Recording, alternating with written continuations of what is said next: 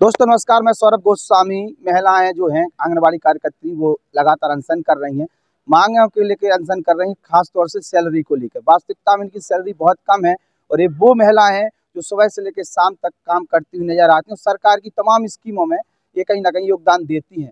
जब भी प्रशासन को भीड़ जुटाने की आवश्यकता पड़ती तो इन महिलाओं के लिए विशेष तौर पर बुला लिया जाता है और अपने कार्यक्रम को सफल बना लिया जाता है। लेकिन जब ये महिलाएँ अपनी मांग उठाती हैं, इनके साथ जो शोषण हो रहा है उसकी जब वो मांग उठाती है तो प्रशासन सुनता हुआ नज़र नहीं आता है कोई अधिकारी भी यहाँ पर ढूकने के लिए नहीं आते।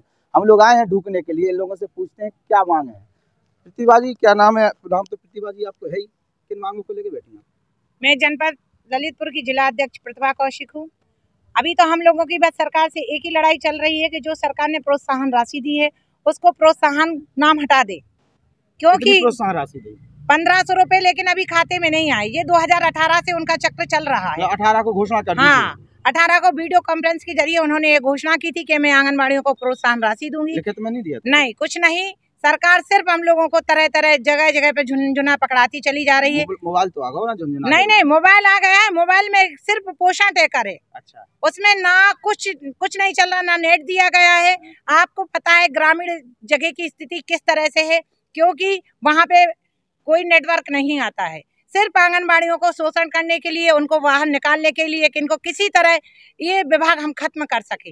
माननीय मुख्यमंत्री जी से इस तरह की हमें उम्मीद नहीं थी जो उन्होंने की है। महिलाओं के लिए तो बहुत कुछ किया इन लोगों ने। ये बस महिलाओं के लिए किया है कहते हैं बड़े बड़े नारे हैं। आपने भी देखा होगा आप हमारे जनपद के बड़े जाने माने पत्रकार हैं क्योंकि आप जानते हैं कि जब महिलाओं का इन्होंने बहुत अच्छा किया है जब महिलाओं को अपनी रैलियाँ बनाना पड़ती हैं या कोई कार्यक्रम होता है तो हम महिलाओं को बुला लेते हैं धमकियाँ देके क्योंकि वहाँ ताली बजाने के लिए कौन ताली- होता ताली है? की, का ताली बजाने के लिए चाहिए। पेट हमारा खाली है और आ हाथ में चम्मच थाली है। बताइए मैं ललितपुर में मैं जिला ललितपुर से हूँ मैं मेरा नाम ललितेंद्र बवेले है कोषाध्यक्ष हूँ। मैं इतना कहना चाह चाहती हूँ कि माननीय मुख्यमंत्री जी ने जो वादे किए थे वो वादे एक भी बात पर खड़े नहीं उतरे हैं।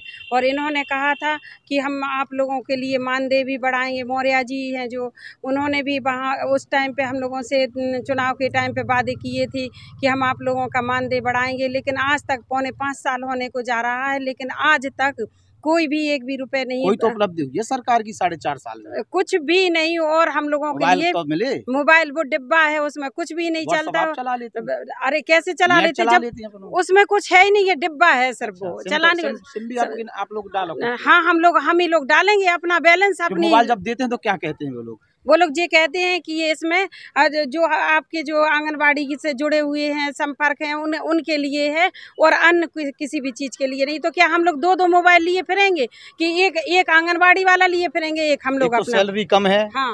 मोबाइल रिचार्ज भी कराने बैटरी को भी खर्चा उठाना है हाँ, ना? पूरा पूरा खर्चा हम ही लोगों को बताएँ क्या नाम? मैं आंगनबाड़ी कार्यकर्ती विमला कितने साल से काम कर रहे हैं? हम उन्नीस सौ निन्यानवे से काम कर रहे हैं। शुरुआत में कितनी सैलरी थी? पाँच सौ रुपये। अब कितनी हो गई? आप साढ़े पाँच साढ़े पाँच हज़ार साढ़े पाँच हज़ार हो गई। पर्याप्त है? जी पर्याप्त है दो चार महीने में एक बार मिल जाती है पता भी नहीं पड़ता किस वहाँ की है। उधारी चल रही मतलब किस दुकान की पे। किस माह की नहीं है। खर्चा पानी के लिए उधार दो हाँ बताओ भाई पार्वती जी। हाँ मैं आंगनवाड़ी कार्यकर्ती दलवारा से हूँ। मेरा सरकार से बस इतना ही कहना है कि जिस तरीके से हम लोगों से काम लेते हैं, उस तरीके से पैसे क्यों नहीं देते हैं? हर विभाग का काम हम लोगों को पकड़ा देते हैं, लेकिन जब मानदेय की आती है तो मानदेय के नाम पे केवल झुंझुना पकड़ा देते हैं कि उसको बाज़ार और मोबाइल भी दिया तो वो भी डिब्बा, उसमें कुछ भी नहीं है, ना उसमें नेट है, ना उसमें सिम भी नहीं दी है। सिम भी अपनी डालें, नेट भी अपना डालें मतलब खर्चा भी हम कर, उनका काम करें, खर्चा अपना खुद का करें। अधिकारी बाय बाय लूट रहे हैं। जी सर। अच्छा साढ़े पाँच हज़ार सैलरी में खर्चा चल जाता नहीं चल पाता। गैस सिलेंडर नहीं है टीवी को है, नहीं आ पाता है। है नहीं आ पाता है। रोज कमाने खाने वालों के यहाँ तो भूखे सोने की भी नौबत आ जाती है सर। अच्छा। हाँ कोई कुछ महिला हाँ इतना महँगा तेल हो गया है इतना हर चीज़ की महँगाई हो गई कि साढ़े पाँच हज़ार रुपए में हम बच्चों की ना पढ़ाई करा सकते हैं ना अपना घर खर्चा चला जी सकते हैं। बताएँ। मैं संगीता शर्मा हूँ बुढ़वा से। मैं एक आंगनबाड़ी हूँ। अब मुझे 25 साल आंगनबाड़ी में सर्विस करते हुए हो गए हैं।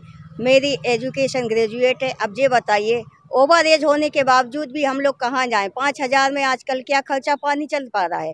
और अगर सरकार एक एक हज़ार करके पच्चीस साल में अगर बढ़ाती तो आज पच्चीस हज़ार होते हम लोगों की सैलरी। हैं और अगर ये मंत्री विधायक हैं उनके लिए ज़्यादा पेट बड़ा है इसलिए उनका ज़्यादा खर्चा होता है। हम लोग आंगनबाड़ी हैं, यहाँ कहते हैं महिला सशक्तिकरण करो और महिलाओं का शोषण खुद कर महिला सशक्तिकरण या महिलाओं का शोषण। भैया आप बताओ क्या कह रही थी कोई बोल रहा तो आप बोलो। क्या कहना चाहते कुछ बोलोगी? आप बोलोगी? आप बोलोगी?